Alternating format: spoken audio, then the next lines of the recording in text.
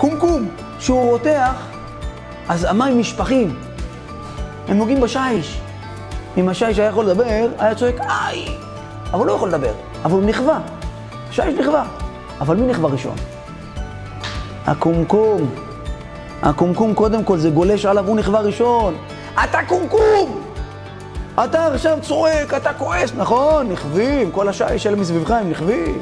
אבל מי נכווה ראשון? מי סובל מזה קודם כל? אתה. אתה הראשון שמפסיד מהכעס שלך.